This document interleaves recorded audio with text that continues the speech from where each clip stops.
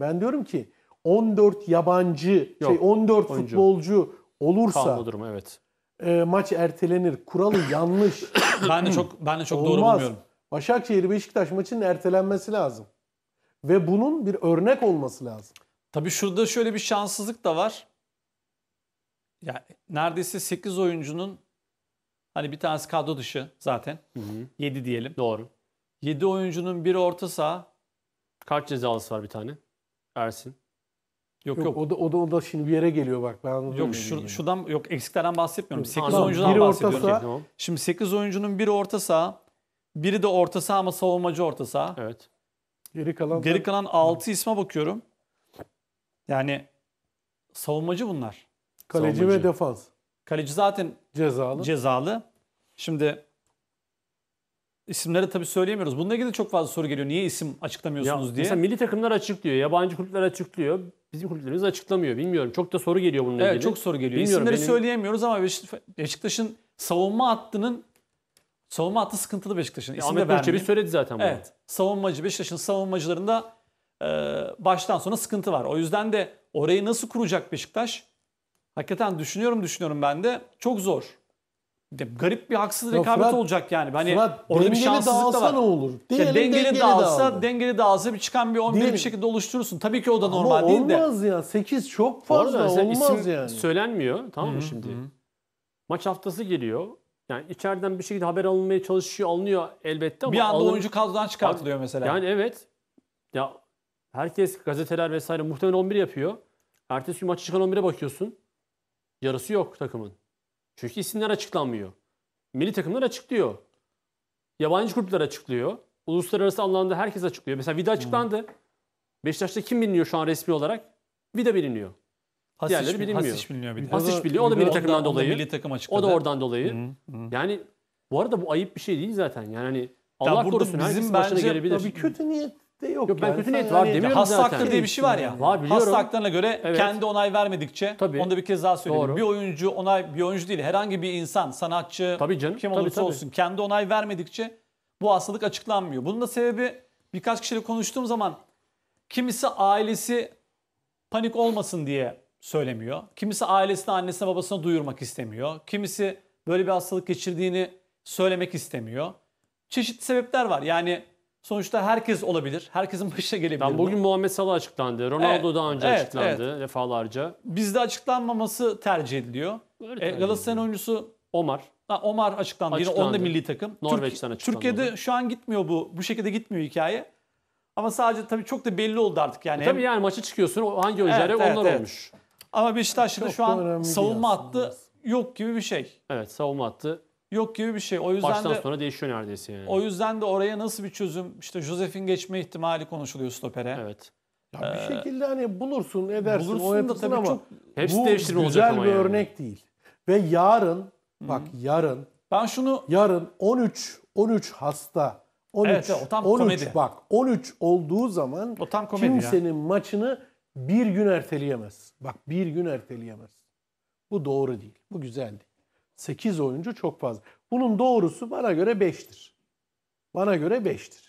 5'in üzeri ertelenmeli. Niye? Neden biliyor musun? Az önce söylediğim gibi sen federasyon olarak bana bir sürü kriter sundun. Demedin ki ya şeyden geçiyoruz, Covid'den bu tür böyle bir salgın hastalıktan geçiyoruz. Ya bir transferde biraz biraz rahatlık vereyim size. E demedin. Sen şimdi bana geliyorsun. e, beni beni boğacaksın. 8 oyuncu ne demek? Yarın Ama bunu şöyle- Beşiktaş'a yaparsan yarın 13 oyuncu Covid çıksın kimsenin maçını erteleyemez. Şöyle bir durum var ama. Dört Barış büyük Hürsen. takımı yani da 5 diyorsun hükmen mesela. mağlup etmek öyle Şimdi 5 çok da kolay değil yani. Yok şu an zaten öyle bir şey mümkün değil de. Tamam da 5 diyorsun ya mesela ama 5 olduğunda da o kadar çok maç ertelenecek ki sezon boyunca. Ligi ne bitirme şansın Ne kalmayacak. yapalım Veli? Hayır hayır bir dakika. Sağlıktan hangisi önemli Ondan Veli? bahsetmiyorum. Tabii ki de sağlık daha önemli. Hangisi ben olacaktan önemli? Ne yapalım şimdi? Olacak olanı söylüyorum. Evet. Ligleri bitirme şansın kalmayacak. İhtimalin kalmayacak yani. Avrupa Futbol Şampiyonası da var. Bitirme ihtimalin kalmayacak.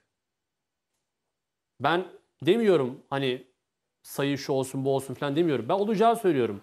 Ya ben sadece şuna bakmamız gerektiği kanaatindeyim. Almanya'da, İngiltere'de, İspanya'da başta olmak üzere takımlarda bu kadar Covid-19 Olmuyor. testi pozitif Tabii, çıkan tabii. oyuncu olmuyor. Demek ki bizim kulüplerimizde de bir şeylerde sıkıntı var bir yerlerde. Var, Ya- o, o zaten yüzde yüz. Onda E yani. haklısın. Yani birebir ama burada kulüplerden öte kişisel hijyen de önemli. Yani mutlaka önemli. sonuçta tesiste çok iyi bir koruma sağlarsın. Oyuncu sorumlu değilse, Ha, öyle bir sorumluluğu sıkıntı. yoksa dışarıda sıkıntı yaşar. Şimdi ben kadroya baktım Beşiktaş'ın. Tamam. Ee, 24-26 tane oyuncusu var Beşiktaş A takımının. Kaç? 26 tane oyuncusu Tamam. var. Beşiktaş A takımının. Bu 26 oyuncu içinde 3 tane genç kaleci var. 3'ü de genç. 23. Rıdvan var, Erdoğan var, Kartal var, Atakan var. 4 tane daha genç var. Etti mi 7 tane genç? Zaten 7 tane genç var. Bunlar Atakan'ı saymazsak hepsi altyapıdan çıkan oyuncular.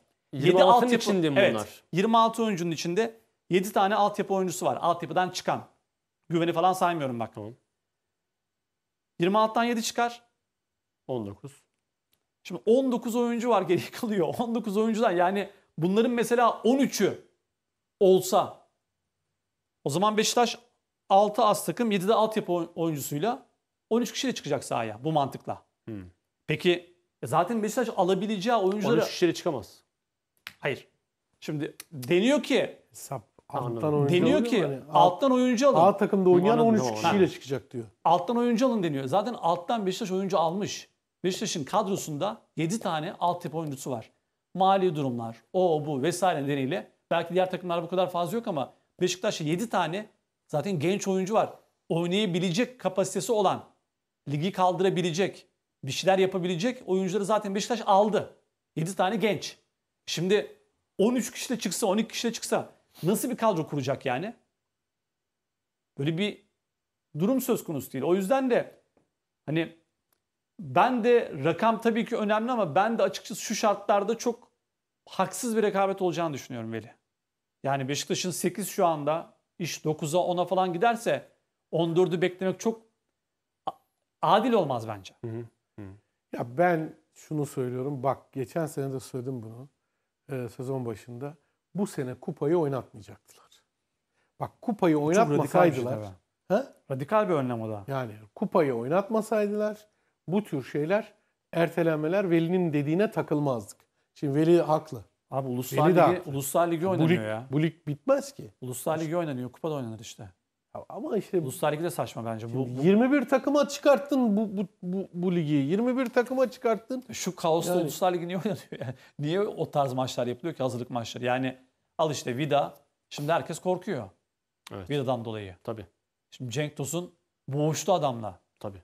Dorukan'ın görüntüsü var sarılmış. Caner sarılmış. Şenol Hoca'yla sarılmış. Yani E, Hırvatistan milli takım ne yapsın? evet evet Hırvatistan milli takımı başlı başına Başta Modric. durum. Modric olmak üzere. To Beşiktaş yaptılar. Aynen aynen. Yani o Juventus'tan kimse var mıydı? Milli takım. Yoktu galiba. ya ama. gerek yok Uluslar Ligi'ni oynatmak da bana çok şey gelmiyor ama enteresan. Ertelenebilir de Uluslar. Ligi'de söylemiş Hmm. olduğun gibi. Aynı fikirdeyim. Çünkü acelesi yok yani.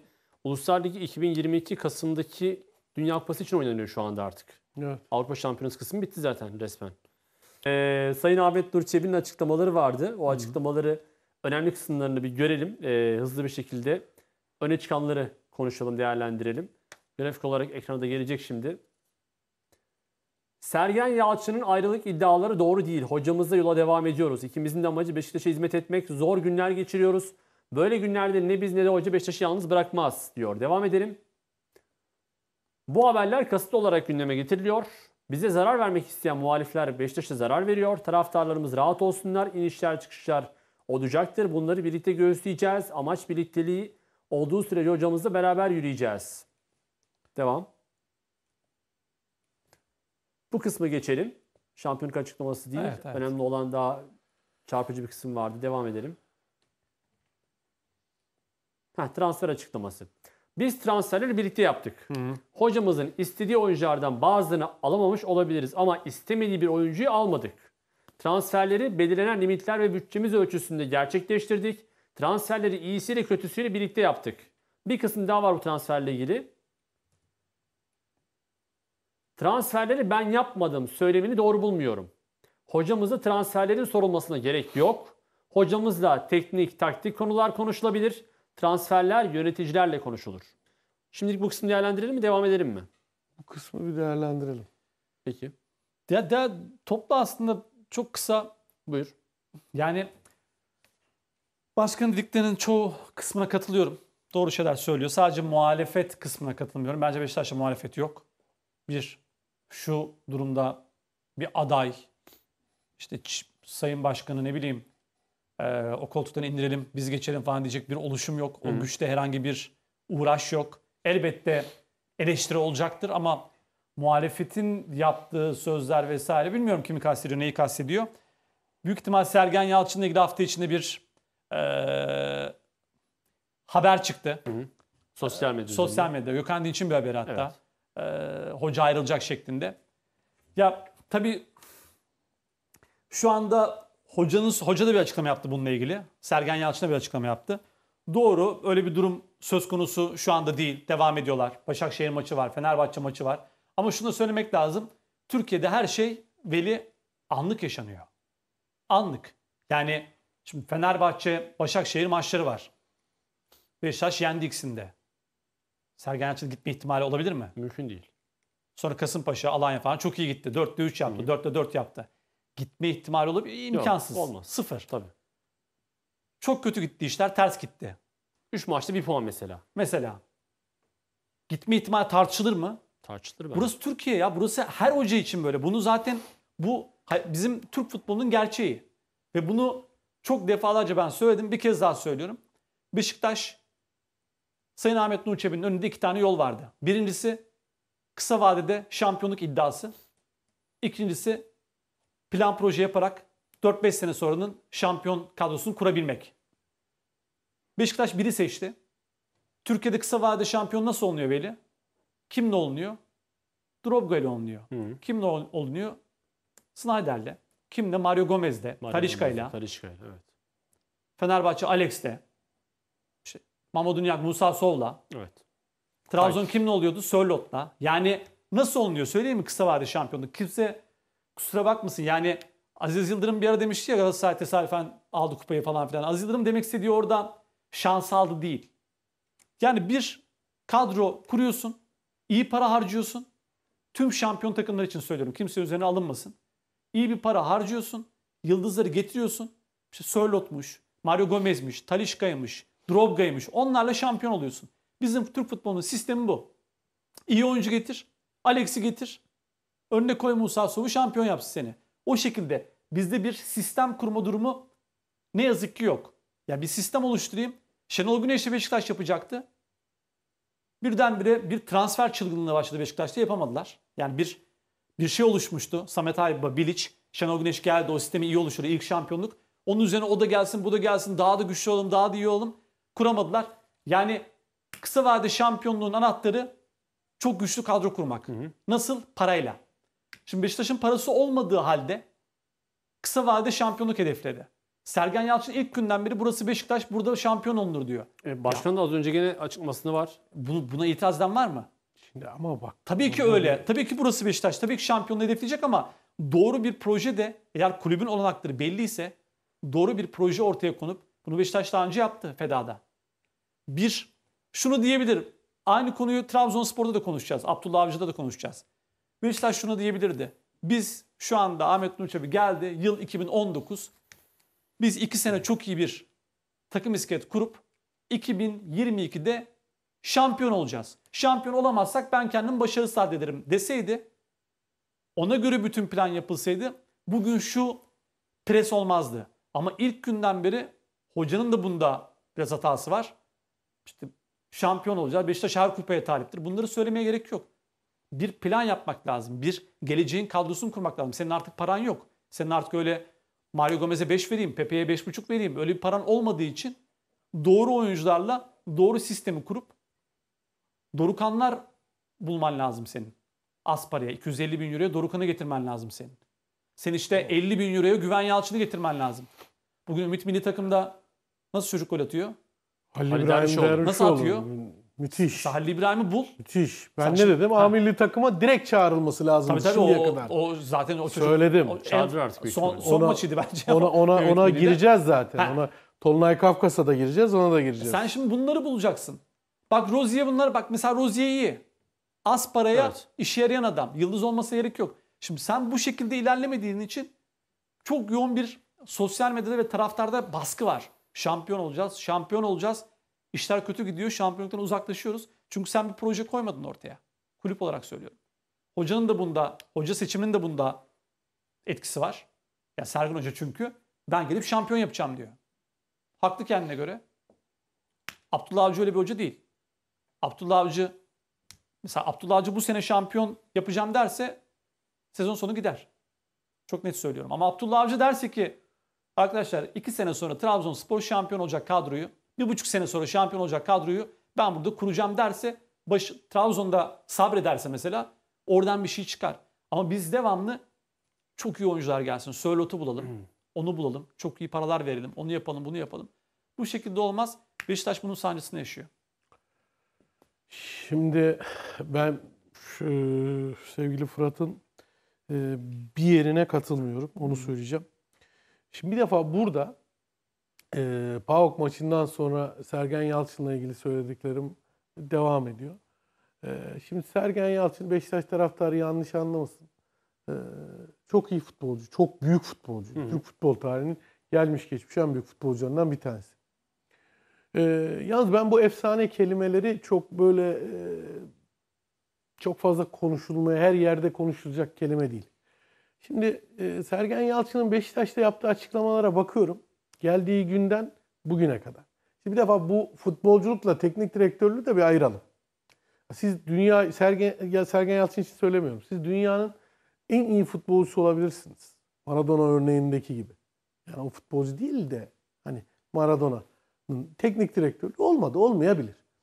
Şimdi e, karıştırmamak lazım. Bunlar aynı şeyler değil yani. Biri ayva, biri domates. Şimdi e, bu karıştırırsak hata olur. Şimdi Sergen Yalçın'ın geldiği günden bugüne kadar yaptığı açıklamalara bir bakalım. Dışarıdan hiç tanımayan bir insan getirin. Hiç Türk futbolunu bilmiyor. Futboldan anlayan ama. Yani kelimeleri çözebilen. Gelsin Sergen Yalçın için desin ki o imza töreninde çık. Şöyle açıklamalarını sadece dinlesin. Yani Sergen Yalçın için Beşiktaş'ta yani oynayıp oynamadığını bile çok fazla karar veremez. Şimdi Sergen Yalçın Beşiktaş'ın efsanesi gibi konuşmuyor. Dışarıdan gelmiş bir teknik direktör gibi konuşuyor. Yani herkes gibi konuşuyor. Yani bir duygu, bir his, bir koruma yok. Şimdi Ersin'i mi kastediyorsun? ya, her şeyi kastediyorum. Şimdi bak Ahmet Nur Çebi Sayın Başkan buraya katılmıyorum işte. Şimdi diyor ya e, muhalefet yaptırıyor bu açıklamaları. Şimdi Fırat dedi ki buraya katılmıyor. Hayır. Ben de diyorum ki Sayın Ahmet Nur Çebi bir kere çok saygıyı hak eden bir isim. Başarılı başarısız işine şu anda girmek çok doğru değil. Evet. Ya bir enkaz değil başka bir şey devraldı. Daha enkaz bölümüne bile gelmedik. Yani enkaz bile değil Sen Beşiktaş. muhalefet mi yaptırıyor bunları diyorsun? Hayır. Muhalefet muhalefet yaptırıyor derken Sayın Başkan şunu diyor. Bize kimse destek olmuyor. Gelip divanından tutun, basınından tutun, eski yöneticisinden tutun. Ne bileyim Beşiktaşlılar, türbün, eski türbüncülerden tutun.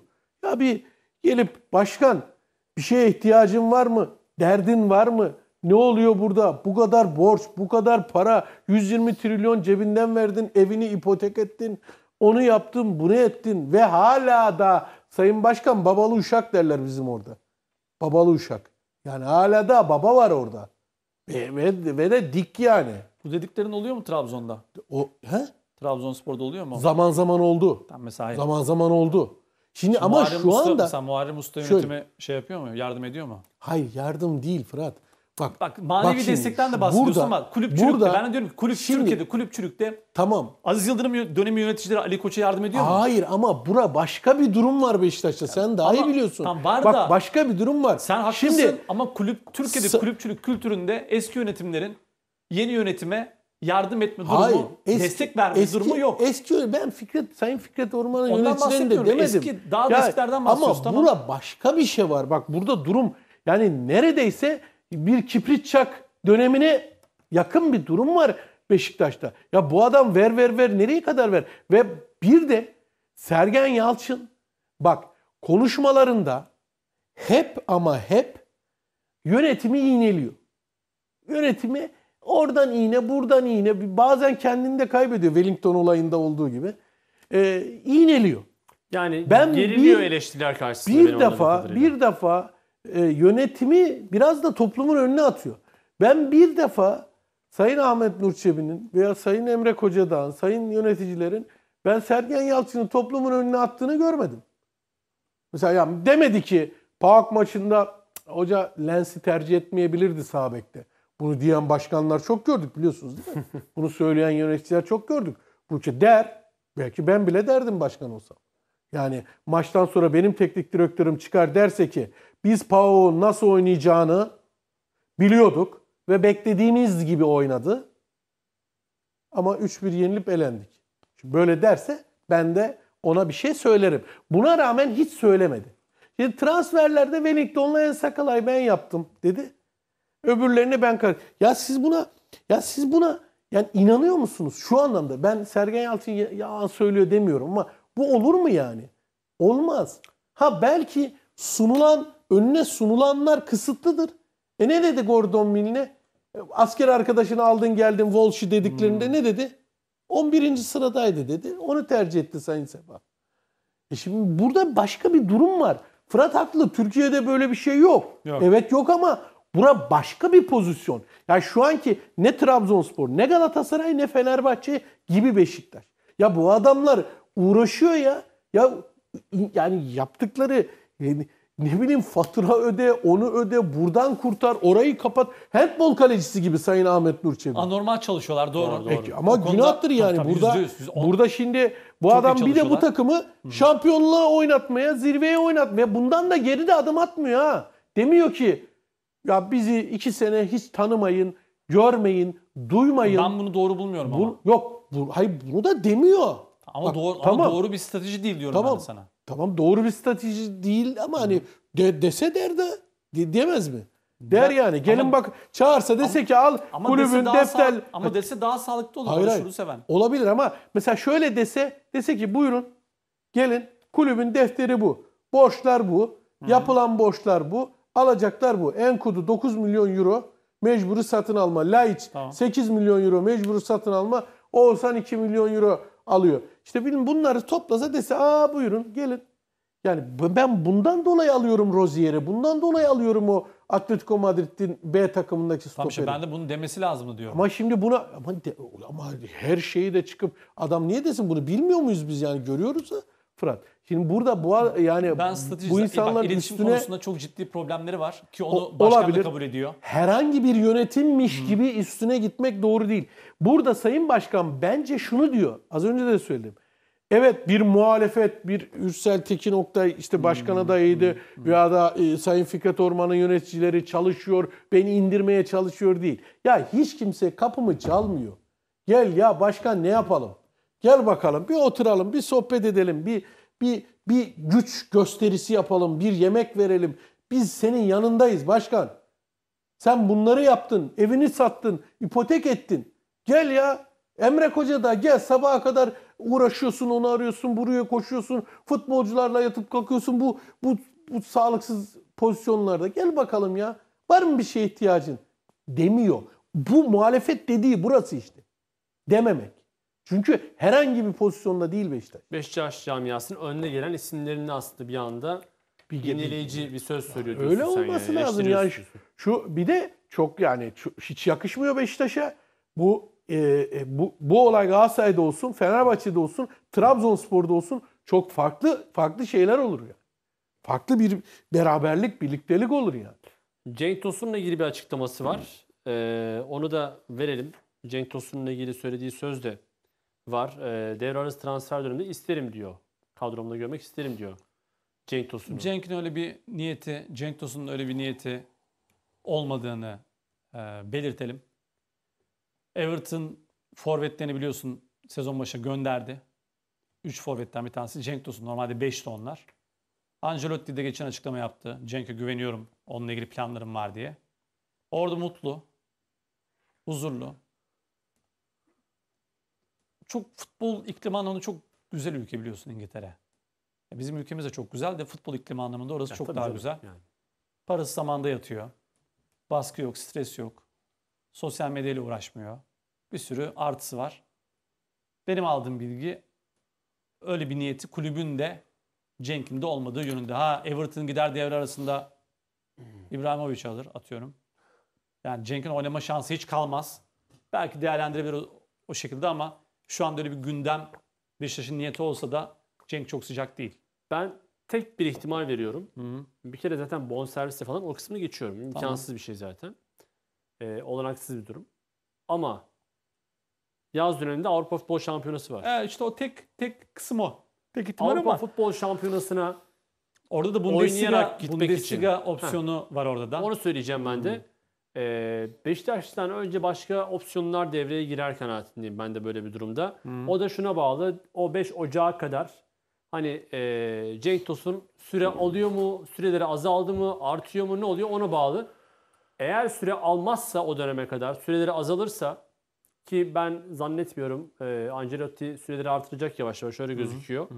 Tahminimce ancak o şartlarda Everton'dan ayrılır ama ayrılsa bile e, durağının Beşiktaş olması şu an için biraz zor gibi Zor, geliyor zor. bana. Zor. Sayın Başkan da isterim dedi zaten. Evet, Onda bir evet, şey yok evet. ki yani. Ben de Sörlot'un geri gelmesini isterim yani. İsterim der Cenk evladı yani onun Yani, döneminde. Tabii normal.